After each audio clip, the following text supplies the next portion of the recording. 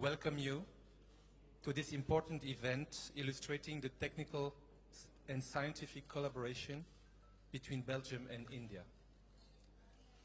We are here to celebrate the remote activation of the 3.6 meter Devasthal optical telescope, a new world-class astronomical instrument developed and installed by the Belgian company AMOS for the Indian Institute ARIES.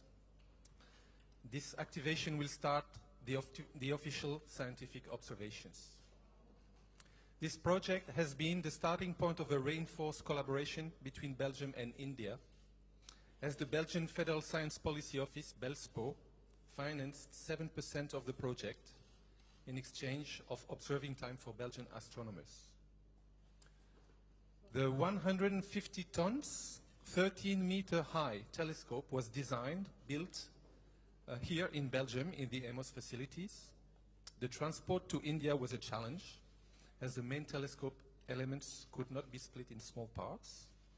But it eventually arrived safely in Devasthal, where it stands now with the ARIES team. So uh, we can see here the team in Devasthal uh, in front of the telescope.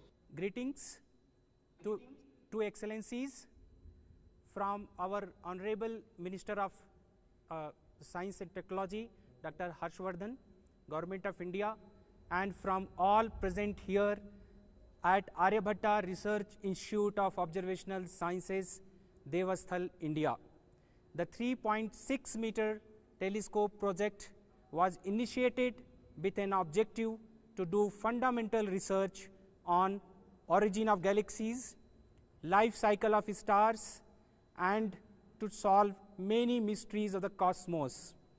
Accordingly, the Devasthal site was selected and the specifications of telescope and the building were decided.